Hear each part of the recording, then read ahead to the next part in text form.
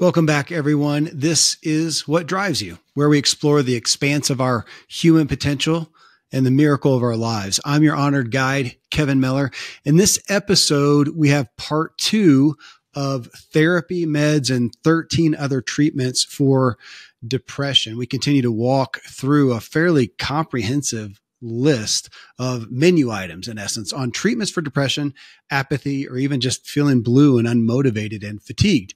In the show a week ago, we did part one and we discussed things like solitude, outside time, exercise, positive input, having purpose and surrounding yourself with inspiration.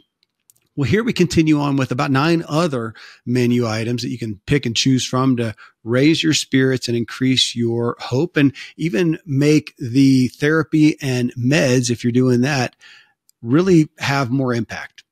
And we worked a lot to be compassionate and gracious as we discussed this very serious issue and not showcase any one thing as the holy grail and recognize you could engage in so many of these and still have a clinical problem. But none of these efforts are going to hurt, and they'll most assuredly help give you the best chance to combat what is holding you down. We is myself and Randy James, medical doctor and functional medicine expert, and he deals with this in his clinic every single day. So you're going to hear him talk from firsthand experience that he is dealing with literally all the time. Hey, as you hear this, if you've got questions or concerns, we're not giving medical advice here on this one, but if you've got questions or concerns, let me know and I will provide what resources I can. Email me, kmiller at kevinmiller.co. Hey, what drives you becomes your reality. Let's work on creating a better reality for you today, here, right now. All right, let's drive for a moment and talk through treatments for depression aside from, in addition to, along with therapy and meds. As we continue on this discussion on depression, and again, I'm going to reiterate the points are to look at so many things that we can do, which I, I intend for that to be hopeful. There are so many things that we can do. That's right. There, there are, and that can, in a lot of people, become analysis paralysis. And when you are the depressed person, any potential you could do this, you could do that becomes a difficult decision right? That and so again we're not speaking to the suicidally depressed we're speaking to the people who are blue who are underneath their maximum performance or they feel too tired or they feel like we said at the beginning all of these things could be related to depression as the diagnosis but they're going to be inter, interrelated with everything else that we talk about and you're right. It's encouraging that hey, you don't have to be blue. There are so many things that you can do. Yeah. And and I just want to say that with compassion because or these are hard. Yeah, And these are these are likely to help the blueness. Not guarantees, not judgments that if you're blue and not doing these, you should be judged. But these are things, and these are also things that are going to help a zillion things. You know, yeah. it's going to help any anything and everything. But specifically to depression, that's what we're looking at. And so, on that note, um, I showed you the other day. I found it was a head. I'm always interested in these in the headlines. Yeah, the headlines are depicting what the pulse is out there, what people are talking about, because the headlines the news wants to showcase stuff you're interested in because that's what makes them money. So apparently, you're interested in depression because they keep posting stuff on that. So this was a recent one on what was the headline was Saint Hope for New Treatment of Depression. This was in CBS and Saint is Stanford Accelerated Intelligent Neuromodulation Therapy shows a picture of a lady. She's in a you know kind of a medical chair.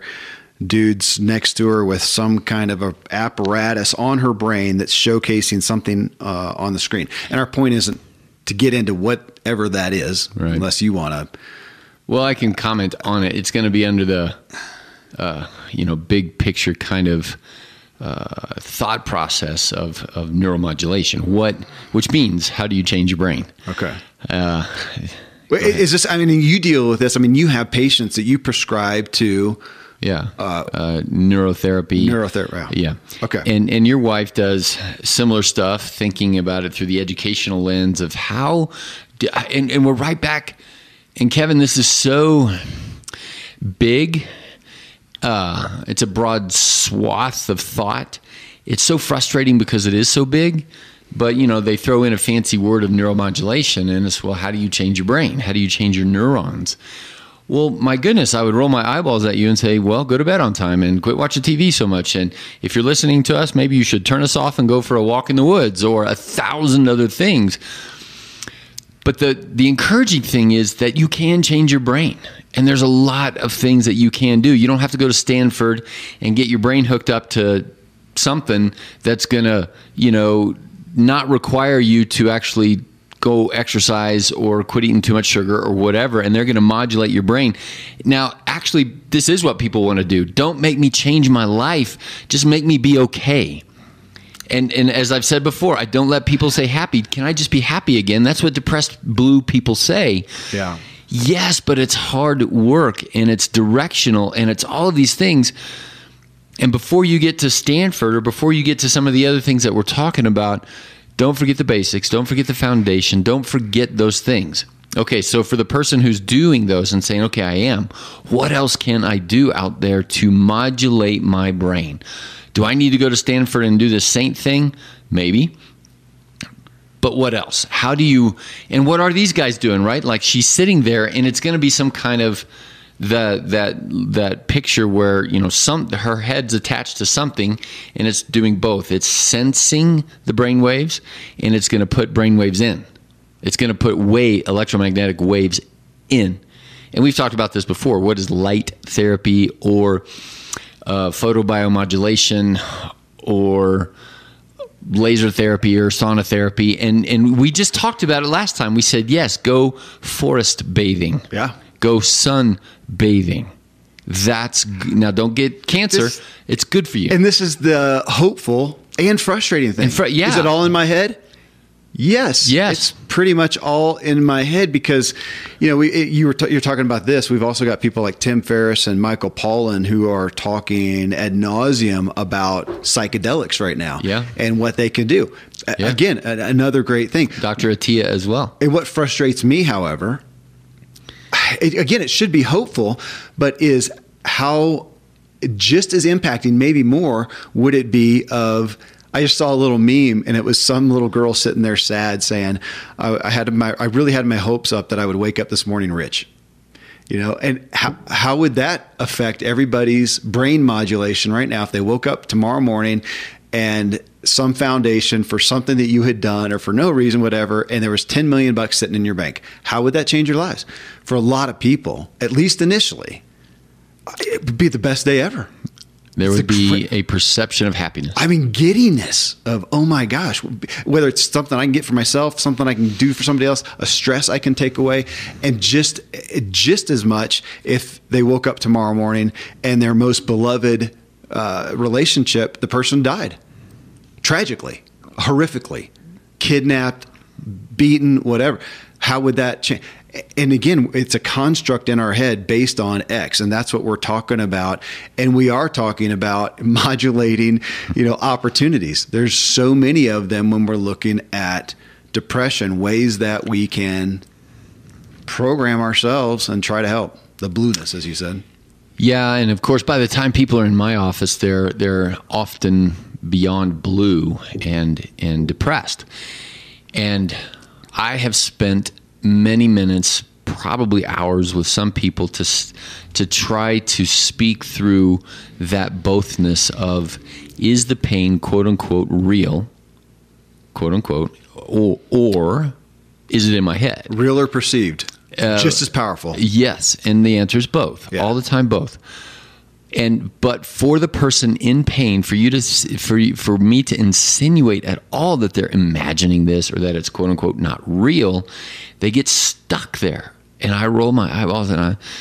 In order for you to get past this, you're going to have to be able to step outside of yourself and with wisdom and integrity and honesty, be able to uh, be mature in order to to see that it is both, and and I, am so sorry, right? Like there's not Yeah, going to be the concrete thing to do. Yeah, because we've got to say this with compassion, with no judgment, that, that you and I are just as prone to it Sure. as anyone. Now, we do have the opportunity to every, ba- every day be doing the things, to be thinking the thoughts that will help us guard against Sure. going down that path. And that, again, And that's what we're talking we're about here. yeah, yeah. yeah. None of us have arrived. Like you said, we're always going to be on the spectrum for the rest of our lives of depression. Sure. And we're going to be closer to a one or a 10. Right. And at, at the, the bothness of that is we're on the exact same spectrum towards peace and well being. Yeah. And then what I keep coming to is there's spectrums on the spectrum because, you know, is it one spectrum of depression or not? Or are there areas of my life where I say, gosh, in this area of my life, I am so inspired. In this area, I'm depressed. Yeah. Yeah. Yeah. Uh, both. And I do want to pull out something that you said that honestly is probably worth an entire show. But reading this morning in the book that you saw me, I had it at coffee. Awareness by Anthony DeMello. And he talked about there specifically, he was talking to psychologists or about psychologists and psychotherapists, of which he is, and yet he was poking at them. Eh, But he said most of our patients come there not for healing, not for a cure. They're just coming for relief. We do not want to change. We just want relief from whatever From the current pain we consequences of what, yeah. Yeah, yeah, from the I- consequences. I agree. Yeah. And I thought, well, yeah, that's me.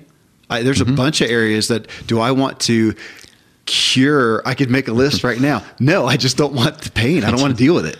right. I want to have my cake and eat it too. Yeah. I want to have my cake and not have diabetes. Yeah. And yes, and and there are theologians that we know that pound on that, like black, white, right, wrong, sin and evil, and thou shalt not. Mm-hmm. And then there's ooey gooey, ishy, squishy, Everything to yeah, whatever you you're want. okay. You you just just be okay. Just be okay. I read something recently that said if your spirituality does not hold within it, I'm paraphrasing dramatically, but it does not hold within it any accountability. I, I question it. We that's Right, the, that's our it's- favorite spirituality and overall faith. Anything goes. Whatever doesn't hold me accountable to anything I don't want. That's right, and that that's that's where I, I think you and I perceive that so many people are stuck in without awareness. Is I want what I want, and I and I don't want the consequences. We should do a show just on accountability because I I'm would- depressed, Kevin, right now. I would, but I would raise my my hand as I am the person. I do not want accountability. I do not like authority in my life. I do not like to submit to stuff. And yet, thank God for the accountability of my body, how it feels. Otherwise, I would eat nothing but donuts. I was going to say, here's the blessing of pain. That's your line. That I, I- yeah. I'm I'm so sorry, and in fact, yeah, now I'm depressed. I know I'm depressed. Well, on that again, and we're gosh, with all you know, compassion and gravity. Uh, type in depression. I just did this, so I typed it into Google. I don't have to go through it all, but I mean, it's just again, it, it's obviously such a huge, consistent, Well, growing topic. When we did that, notice that the top hits, Saint was there, psilocybin was there, ketamine was there, Uh-huh. um, and and and and uh, what isn't at the top of the list is exercise. Yeah. Go to bed on time. Get off social media, and and it okay. So back at the beginning, you said you like to go to headlines and. Yet you're a fan of propaganda, and I would say, well, are headlines reflecting people or are headlines directing people? And the answer is both. both, both. Though I will give some credence to they're going to put there what, What they clicks. think I'll click on. Yes. So okay. So it's it's the bothness, Yeah. and we also know that the more the headlines put in what they put in, they are also directing some Yes. of what people click because Sure. that's how the Yeah, thing well, and works. I have to go, and I didn't look. Is the is the headline article on this Saint thing? You know, I saw it on CBS, but if I, if I read the fine print, was it actually paid content by Stanford By University or whoever makes a Saint? Right. I don't know. or whoever owns CBS to make you Yeah. click in over here and. Okay, so you and I are very skept, uh, ske- uh, beyond skeptical on, on this kind of a front. Mm-hmm. But my point there is there isn't, uh, you know, just like if you Google cancer, the first hit is going to be drugs and surgery, and look how awesome we are. It's not going to be go to bed on time and eat your vegetables, and it, it that's on page fifty. You'll you'll never see it, and so my my point there on the on the depression side is people are hoping for the life preserver to be tossed to them out there in their waters and their waves. And I'm, I'm uh, waters and waves, and we're saying, yeah, you got to do the work of swimming, but no, just throw me something. Throw me a bone, throw me the life raft, and that's what these medicines are. And they're awesome, right? Like I, 10 years ago, I poo pooed and would not have even thought twice about marijuana, but I've seen it help certain people so much that I would say it's on the table. But I'm going to look at my 15 year old and say, no. Yeah. That's, I just black and whited it, right? Is there, if, if, he, if he's an epileptic, then maybe. Right, like that's where yeah. it can be good. I, I, wish I had known about it. yeah, my, for your son, it yeah. would have been. And you know what? Now I would tell your son right now, you better be keto. You better prove it, and you better prove that being three months there with your brain stuff. I haven't talked to him about that, but yeah. he should. Um, any, anybody in the brain world, uh, well, in the extreme brain world of, of, of cancer and epilepsy, even the normal, not functional doctors are going to say, okay, first get to be keto and stay there. And then we'll talk about whatever else. Gosh. I, okay. I didn't, uh, I didn't have that on the list. Uh, I mean, you know, we talked about, actually, I do have that on the list is nutrition, giving the body yeah. what it needs, leaving out what it doesn't. So if we, if we're back to just the basic, Hey, here are some ingredients for depression. I'm going to guess you're going to say, oh, absolutely. Not only nutrition, uh, but good nutrition, but keto directed. Well, yeah. Uh, the, the, the drug of sugar, and we have to say that very gently and all of that. But no, we Mar- don't. You don't. Okay, well, that was our last show. The, if you don't, you probably don't remember. It's two shows ago. Is I think was on sugar, and mainly, yeah, you don't know this. So I did a meme out there. I did my research, and it was something to the effect of one out of twenty six Americans has an alcohol disorder. Okay, so okay. we look at that and ah, you know, poke poke at at uh, that. But if we look at all the outcomes of sugar, diabetes, prediabetes, one in three. One in three. So my my statement was, so which is the worst drug, and who is and is not an addict? Uh, yeah.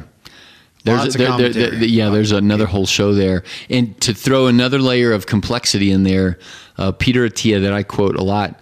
Uh, just interviewed, I forgot his name, but he's some psychiatrist in the world of this psilocybin stuff and psychedelics and all of that and the the history of how we messed it all up and how can we use these things for good.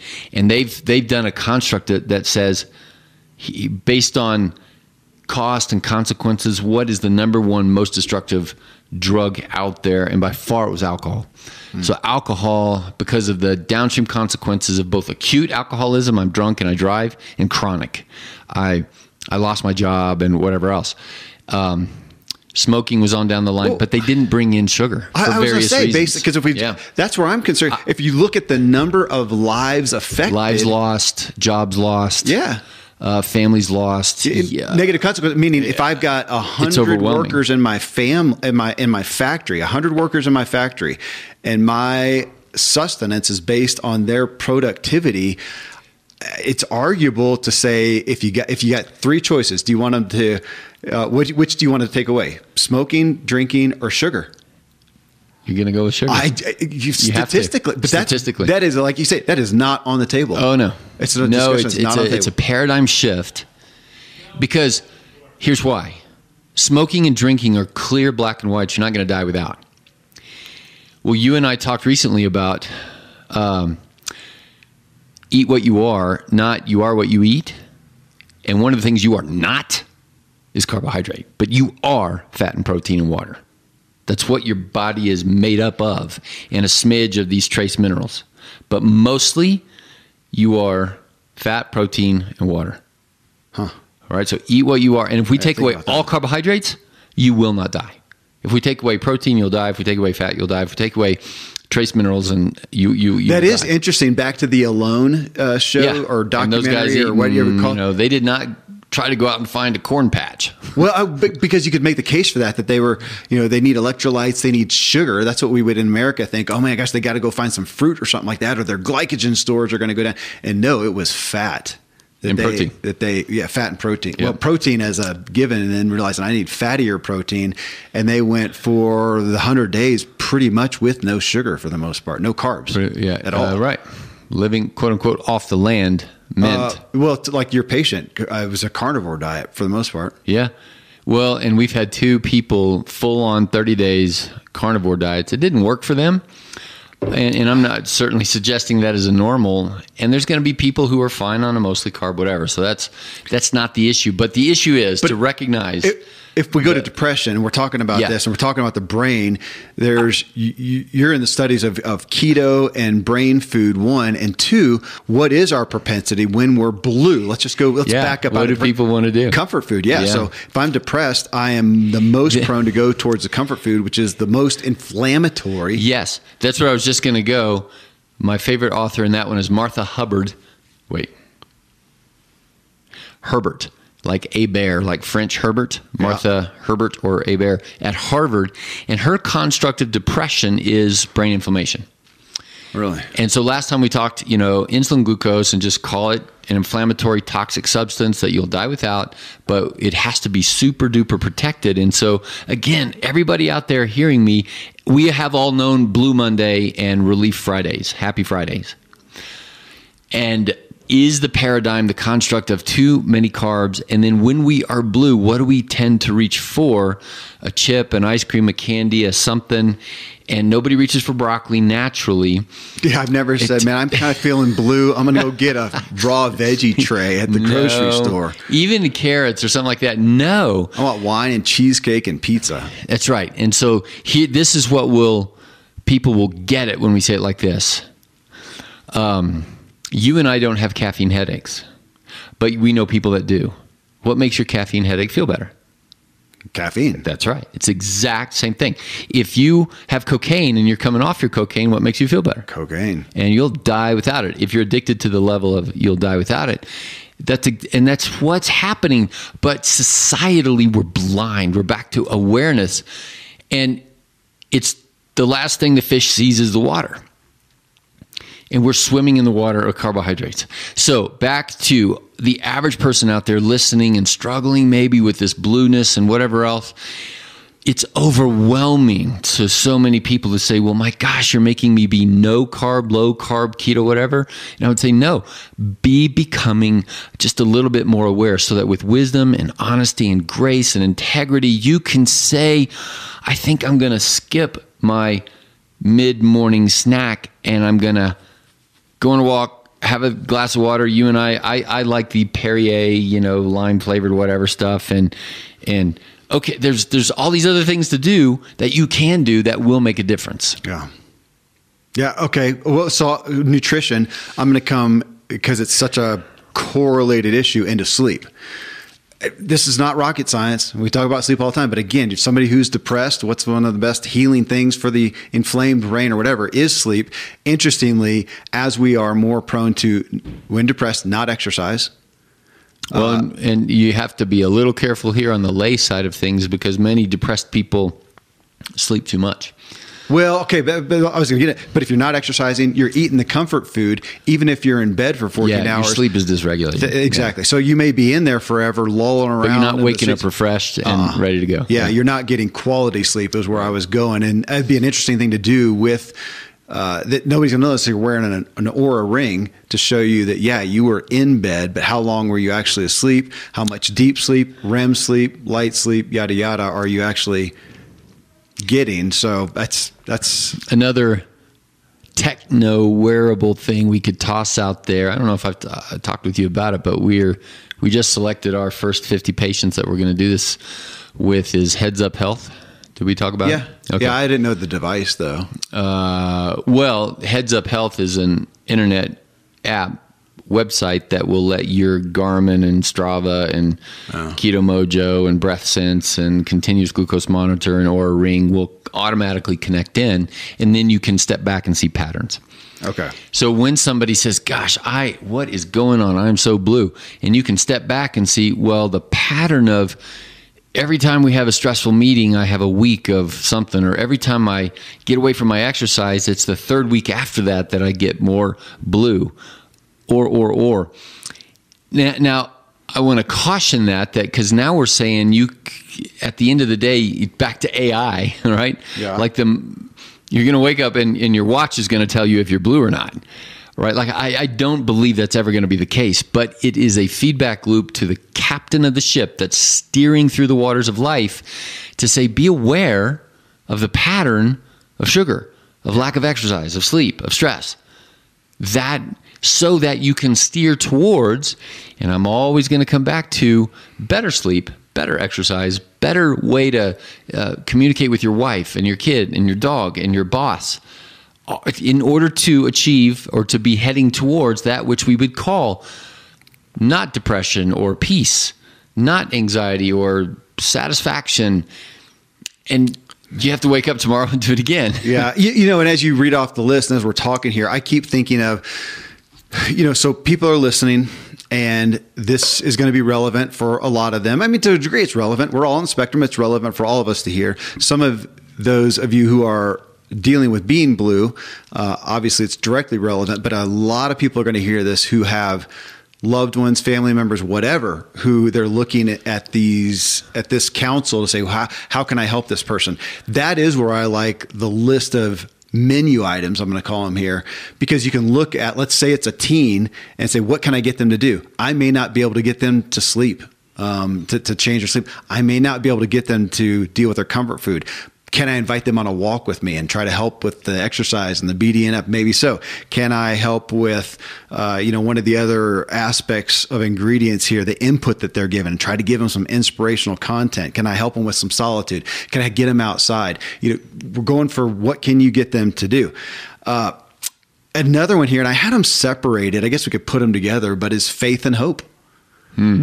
I mean, we just spent the morning mm-hmm. talking about faith, but when we see depression, when we see apathy, a word that goes right along with that is off, often hopelessness. Yeah. If there's nothing they're looking forward to, there's no bigger picture, but faith. Do we have faith in? And we can look at this. Do you have faith in a bigger, in a greater purpose, whether that's humanity, saving the planet? My gosh, a cause just a cause. Go to so get out of spirituality even and just saying, do I have faith in humanity and a cause? And we can see somebody go who's depressed find inspiration and uh, hope and finding something to serve. Yes, you give them a, a, a disabled cat. Uh, I mean, I'm not poking fun at it, but no. just saying something to serve, something to take care of, a plant or whatever. Sometimes now, spirituality then is another piece. If you feel that there is a, a greater purpose, a greater power, and uh, calling to that, it can be a great ingredient.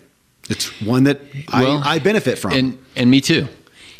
And so then we we run the risk here of overly clinical, an overly clinical approach to this to say is faith dopamine and epinephrine and oxytocin and these other things. Sure. Uh, right. Uh, but then why not just inject some dopamine in there at the right amount and, and those kind of things? So there's there's the mystery. That's my point. Is there's a transcendent mystery right now that even with the best of technologies, we we don't know. But here's what we do know. Is there really well done studies that will say, hey, for those people who are consistently in this realm of, of faith activities, do they tend to have less depression? Is the probability of less?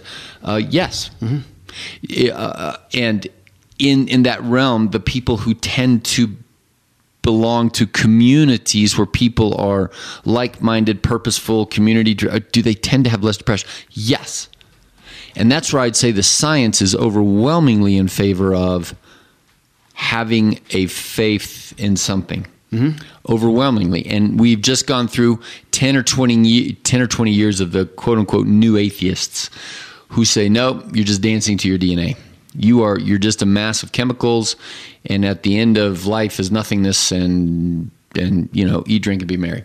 Okay, well you know we're not going to put the guy in jail, but at the end of the day, if you if you are in, in a group of people who tend to think that way in mass and whatever, is there more depression? Yes.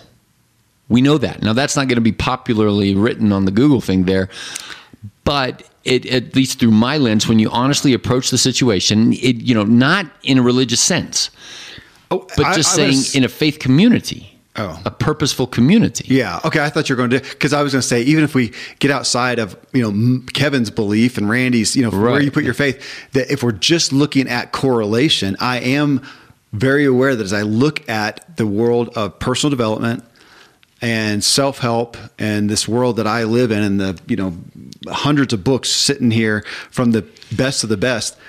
I don't know of one atheist within there. Now that's a volatile statement right there. That's not me saying right or wrong. It's just a flat correlation. I just don't happen to have a book on the bestseller list that's from a devout, you know, uh, atheist. Now they may be agnostic, they may not claim whatever, but it's interesting correlation that they all believe that there's some a transcendent. Yes, that I put Cutler on the on the on the edge there since we you okay. know just but he but he uh, he openly also says you know that there's no you know God faith kind of thing over here, but he's passionate about service to his causes. Yeah, the the earth and animals and and writing and creativity and all. Well, I would okay. say he has a faith, he has a hope, he has a greater purpose yeah. for his life. Yeah, outside of just himself.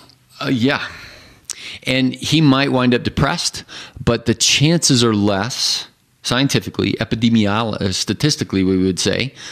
Um, and and so for somebody out there who's tending towards blue, I agree that's an ingredient on the list is to say, okay, well, step back and, and, and, and, you know in the bluest of blue you're not going to be able to think of anything but on a brighter day say you know what i, I really am passionate about xyz go and invest okay well you said the word a second ago in relation to faith and you said the word community that's another big ingredient on the menu here is relationships mm-hmm. uh, specific you know relationships whether that's one person a meaningful relationship you and i have that we get to spend every day uh, just about with each other investing in a one-on-one relationship. Mm-hmm. We just got back from uh, uh, coffee with a handful of guys in a community, and we talked about you know church and talked about you know social groups, uh, whatever it is. But the power of community, we often find, as talking about correlation, people suffering with depression are generally isolated to begin with, or they found themselves, or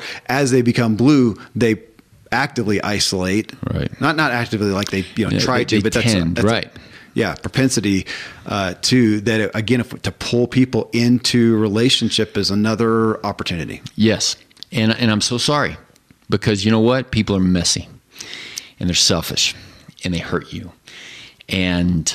Uh, I think this will drive the point home, like we just said about caffeine over here with coffee and a headache and whatever. Is like, oh yeah, what makes me feel better is the actual food uh, that's part of my problem. Um, and when people are depressed, uh, a lot of times they'll say, well, so and so did something to me. I'm going to withdraw. And so and so is selfish, or I just don't want to pour into these needy people uh, because of whatever. And in reality, when we what we find is when you do do that, it is better. And and and my correlation there is I'm going to say, what about physical therapy? Do you remember? Uh, you know, you break your leg, and you remember what I told you PT stands for? No.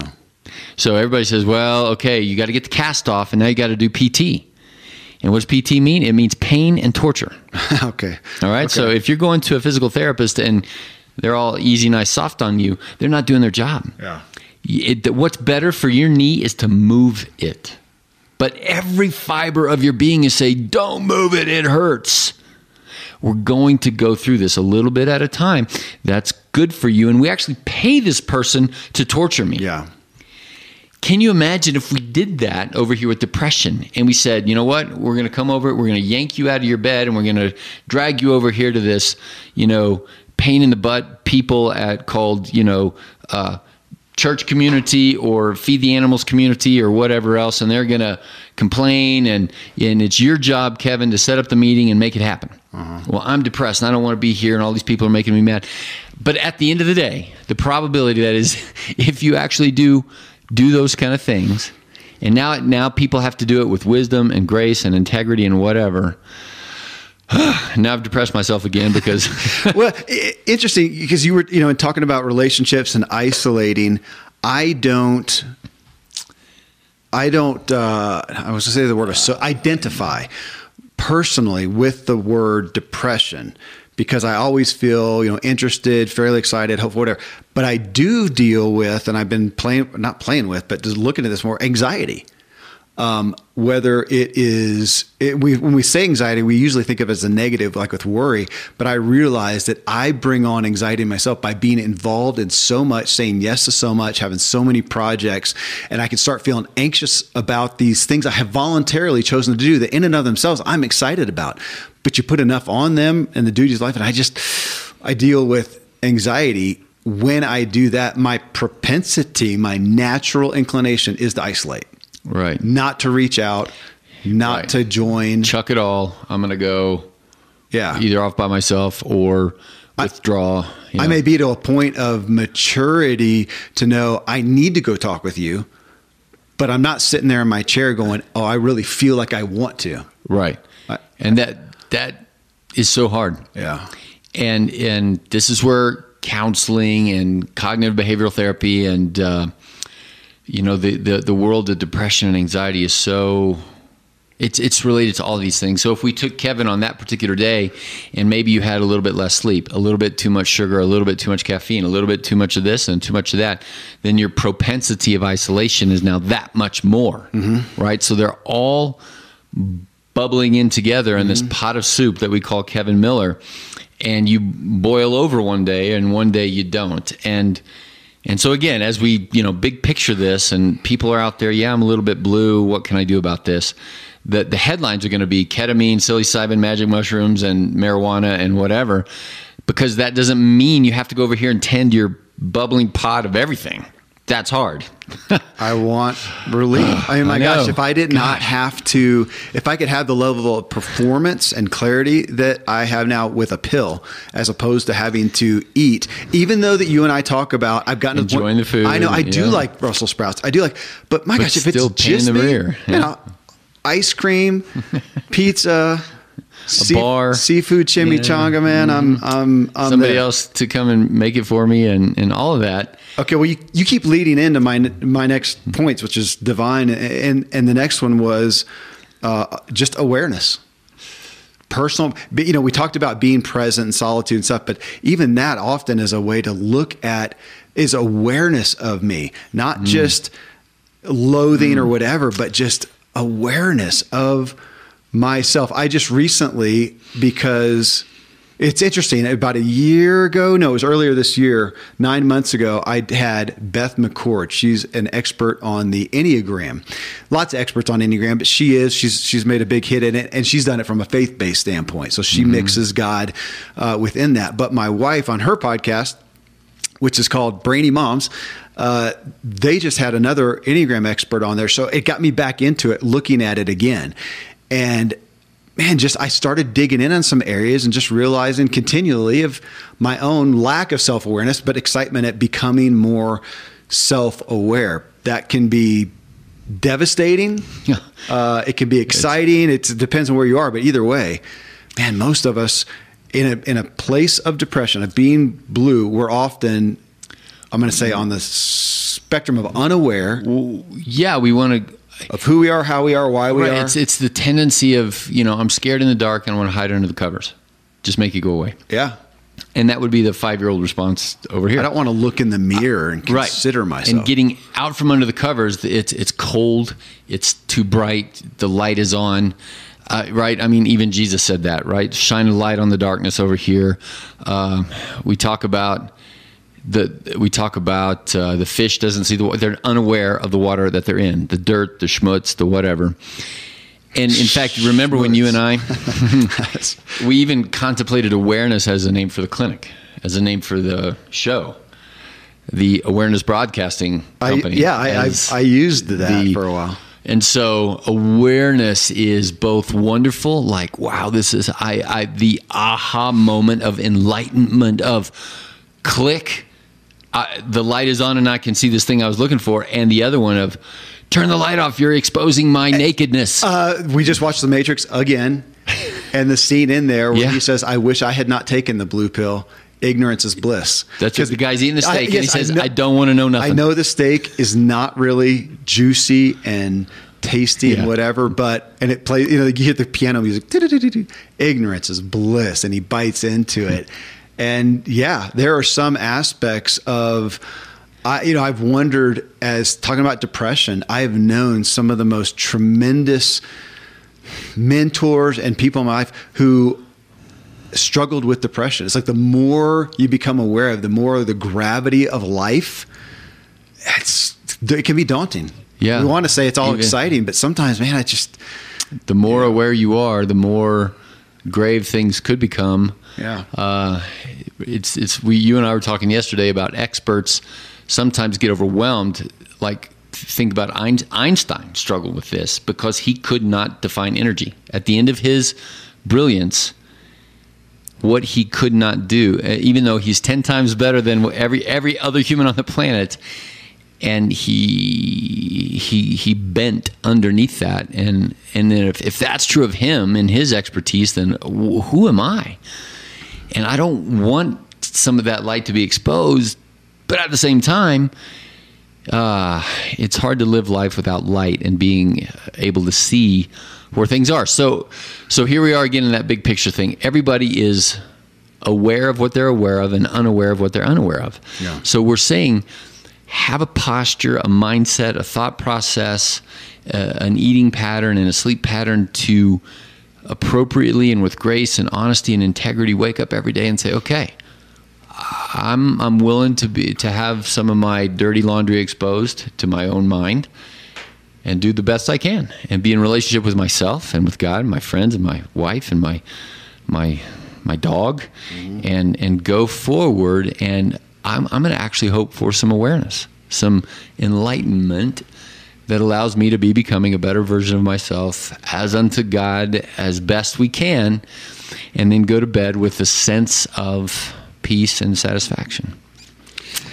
All right, I, am going to pull out another piece. Uh, yeah, another piece here of we talked about relationships and we talked about community in general as opposed to isolation, but I want to pull out, tease out the actual who that we're with because I hadn't thought about it in these terms until we did this show here right now. But that we're saying one, we're going to uplift, you know, better to be with people generally. However, what is our propensity again when we are depressed? Just like we are prone nutritionally to go to comfort food, I think when we're depressed, we go to comfort people, which may not be what we need. Uh, maybe I mean if it's comfort and it's you know your mom to come and give you comfort, that's great. But often what we could use is somebody to help pull us out, somebody to help us see something different, not to counteract us, not to Pollyanna things, right. to have empathy, but also to uh, to change us. And we know the power of people. It's Jim Rohn who's famous for saying we are the sum ultimately of the five people we hang around most. Whether it's that's that's not an exact number, whether it's three people or 15 people or whatever, but it's so influencing.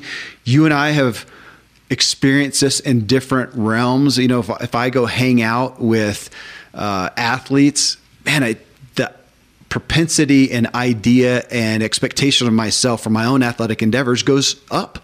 If I hang out with uh, this is I'm gonna I'll just name this throughout my lifetime when I go hang out with wealthy guys because that's who I hang out with more is uh, wealthy guys my own expectation and comfort with thinking about myself being a wealthier person and having that ability goes up uh, being with faith-based people, being with, I mean, it matters. This is why Weight Watchers is one of the most successful uh, and and AA, I would mm-hmm. say, two of the most successful organizations because we surround ourselves with people who lift us up. They're there to commiserate, but they're also there to lift. Let's band together and progress. Right. And it's the power of that. Uh, the blue zone yeah idea exactly. of that we have in the office here that we've worked really hard to create that people do. years ago we actually I actually had to make a rule of in this office, you are not allowed to bring in fast food. It stinks the place up and it brings all of us down. And that's a concrete thing. Even as you and I talk about, you know, gray and less concrete, there are still concretes that we, you and I have chosen. We're not going to bring, fa- we don't bring fast food in. And, and even though we don't even think about that anymore, that's kind of a concrete, right? Like, eh, it's not a moral kind of a thing, but it, it if you brought in fast food, I would call you out yeah. And vice versa, to call you up, not to shame you, but to say, hey, that pathway is not the best kind of pathway to where I know you want to go. And then we as an office, we, uh, as a family, those and, and, the opposite of that, I would suggest to people who tend to be blue and then they go looking for people to tell me I'm okay in my schmutz over here, and it's a codependency. Okay, I was I, I, I was gonna I was debating whether to bring up because we won't name a name, but an acute issue you and I experienced that together with an employee that was here when I first started working with you mm-hmm. at the practice and somebody and she had a hard life, hard place and she made so much progress. I mean it was it was some life-changing things on the aspects of faith and health and and hope and whatever. And then uh, you know trial happened, stress mm-hmm. happened and what did she do? Boom. She went right back mm-hmm. to the people who had hurt her the most, but it was comfort in mm-hmm. that hurt. It was comfort in the hurt. It, uh, validation, yeah, justification that my angry, wounded feelings are are validated.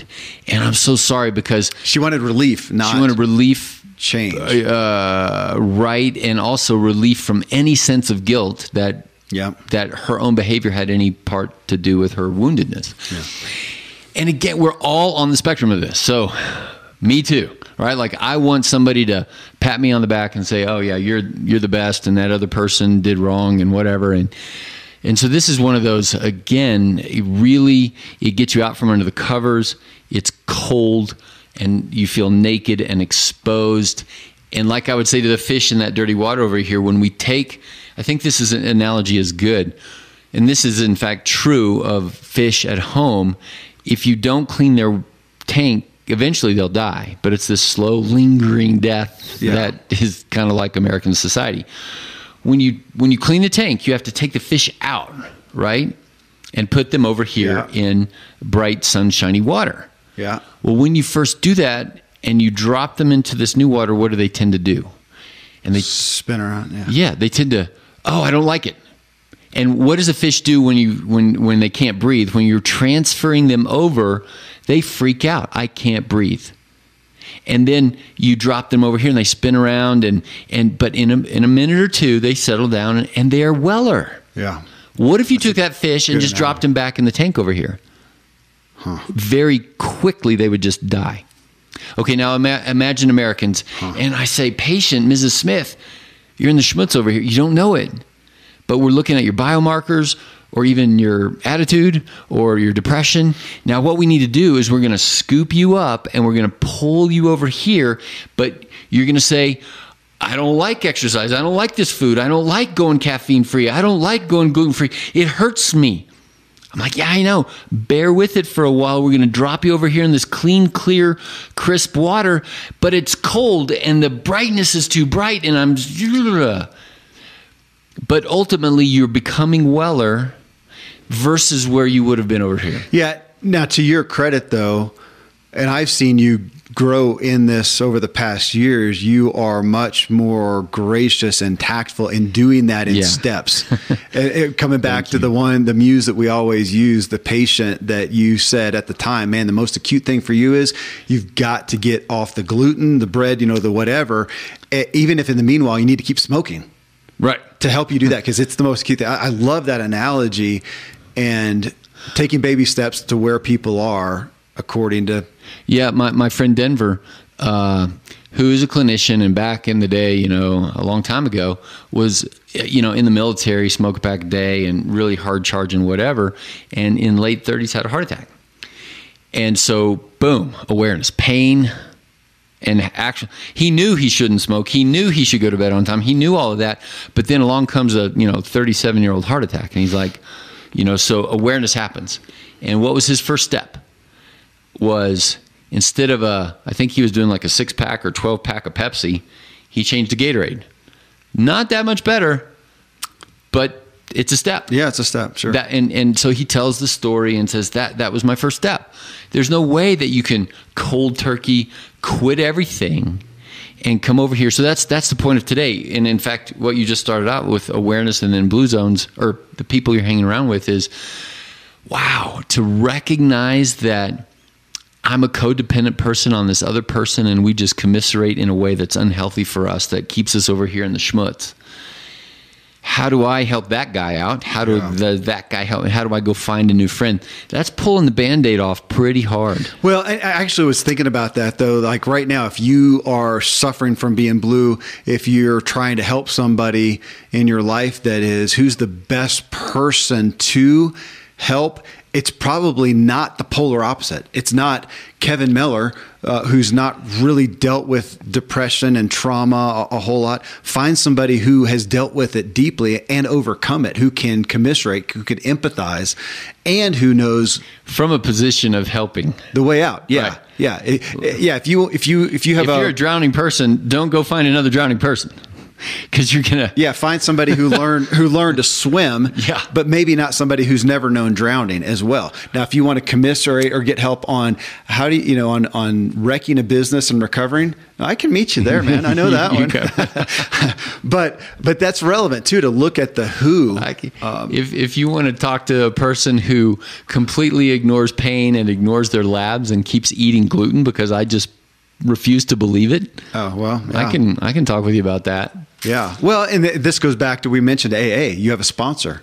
Your sponsor yeah, is not somebody who's never known. That's right. Uh, AA is a great model. Yeah, it is. It's, it is. It's not finding the guy. You know, you're drowning in the water. Don't talk to your friend in the desert who has no idea what you're talking about. But talk to the guy who's on the ladder over there, who's got a good foothold and can reach back and give you a hand up. These again, ingredients. I hope they're opportunities, menu items to look at.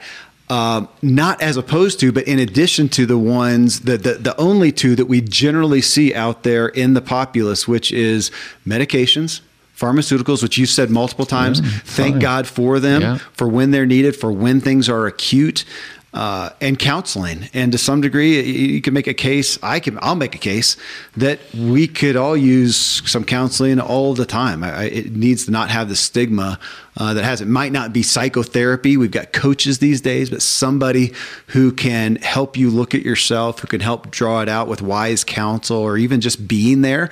If you don't have a person, if you don't, I, I, get to have a Randy in my life, somebody who uh, I don't have to pay you and you care about me, you know me, you can give insight to me. That is a gift. It's incredibly rare. It's a complete privilege. Thank you, God. Um, and not having that, sometimes the the greatest place, the easiest place to go, or the most uh, relevant is go pay for it. Go get a coach, mm-hmm. go get a counselor, go get somebody. Uh, in churches, sometimes they have the opportunities for a pastor who will do that, though I think pastors are often leaned on that when they are not actually good counselors. Mm-hmm. Uh, so, you know, look there. But uh, can, and I, I, also want to drop a list in here because yeah. you and I, we always circle back to these basics, these big things, but there is a list of what about ketamine? What about mushrooms? What about going to Mexico and getting a whatever? And we're not saying no to that. those are expensive, risky, dangerous, and you need really wise and good counsel down those pathways. But what about some of the other things that are on the list of people saying, okay, I'm really working hard on all those things, but I read about low dose naltrexone. I read about sauna therapy. I read about these things. And so if, if I were dipping into that, as much as I would lean on nutrition, exercise, sleep, and Kevin to help me to pull out of this sense of blueness, um, the kinds of things that that I would lean on, it, barring the extremes where medicines would, would be the case, um, and probably right now I would go out and invest in an infrared sauna. And we've talked about light therapy and is that good for your mind and your mood and your brain and stuff like that? Is it the fact that you're taking 20 minutes of solitude to just sit there that helps you? Or is it the actual nanometers of wavelength of the near infrared, far infrared, and stuff like that? Uh, to the person who's like ready to spend some money and time on, you've already, you're doing medicines, you're doing friendship, you're doing counseling, I would look at sauna therapy. And at the same time, I would look at light therapy. So, yes, go out in the sun. We've already talked about that. Go forest bathing. Light is good for you, but should you pay for a Vielight? should you pay for our friend Lifelight? There's multiple companies, and and the if you want to Google this, it's photobiomodulation. Does light help mood? Does it prevent dementia? Yes. So I would say go be in the sun. But when do you pay for certain nanometers of wavelength and shove them, and one of them actually clips to the inside of your nose? And it's really weird, right? Now it's like otherworldly, futuristic, and all of that. Does it help people? Yeah. So, what's the right person to do that? I don't know. And for most people in a city, I guess if you look up infrared sauna, you should be able to find some places where you go do it just like a suntan booth. You just pay for yeah. time in it, right? And and that's where I'd say go to Google, kind of health clubs may know, have them. Figure it out. Look look around. Um, low dose naltrexone is something for people to be aware of, or LDN as it's called, low dose naltrexone.org and uh, is it a viable pharmaceutical, uh, very cheap thing that can can help? Yeah, that's that's a reasonable thing. Marijuana, you know, we've, we've, CBD, marijuana. We talked about those things in the past, but these are all on the list of it within the context of the foundation and the basics. Yes. What about HBOT? HBOT is hyperbaric oxygen therapy. Oh. Is oxygen good for you? Yes. Can there be too little? Yes. Can there be too much? Yes. Is it a poison? Yes. Will it explode? Yes. You better be careful. But you'll die without it. Do most of us not breathe well? Yes. We did a whole show on breath work and all that. Well, what if you go pay somebody to shove a little bit more inside of you? Okay. There's a time and a place for that. You can go buy your own HBOT. Do you know that? Your own little. Uh, you know it's a foldable kind of a thing and you you pump it up and for a couple thousand bucks you can have your own hyperbaric oxygen therapy hmm. um, now the reason i'm interested in that is because we live at 9000 feet and there is less oxygen here and therefore that matters um, and then the other one there is is neurofeedback you know should you've got cognitive behavioral therapy, which is a person feeding back to you and saying, Well, that's not smart. Let's try it this way. What if somebody's got a thing on your head and is reading your alpha, beta, theta, delta waves and says, You know, when you do that, your beta waves go all wonky. Let me throw some alpha waves into your head here and also counsel you to to do that and i would say yeah that's really valuable but it's time and money and effort and you know that's where uh, that's where people wind up in my office. There's so many options out there that they're confused. And now they need help to where do I spend my limited time and money and effort and energy? Well, and as I'm thinking about this as we wrap up here, I probably will go back and add it to the intro to make sure, because it was probably a good place to start. With all of this to some degree, if we are talking, as you're hearing this, if you are in this spectrum of dealing with depression, being blue, feeling blue, whatever, or if you are even maybe even more so, uh, if you're looking at somebody you're trying to help or you care for, mm-hmm. is we at the core of it is motive.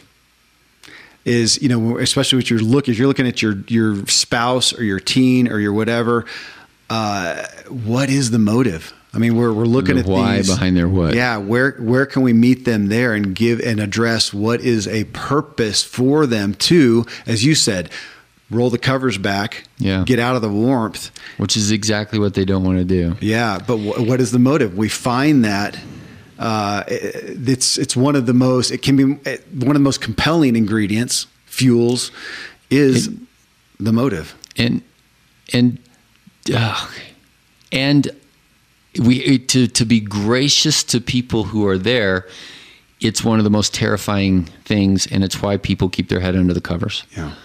So is that a bad place to end? No that's weighty. It's a it's a weighty it's a weighty uh, issue yeah. and i hope that people can hear this yeah with with compassion but hear it with hope for hey here's all i've seen. We often are so narrow in our own thoughts towards addressing a right, problem or a yeah. goal that here are so many more things that we can add in and actually i'm right now thinking about what you said what's the best Dr. James, what is the best exercise?